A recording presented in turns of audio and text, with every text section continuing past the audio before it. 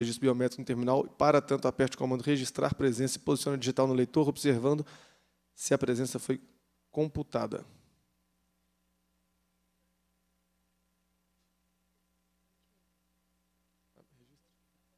Tá, pode já. Tá. A presidência, nos termos parágrafo 1 do artigo 132 do regimento interno, dispensa a leitura da ata da reunião anterior, considera aprovada e solicita sua subscrição. Esta reunião se destina a discutir e votar pareceres de redação final. A reunião está suspensa por tempo indeterminado.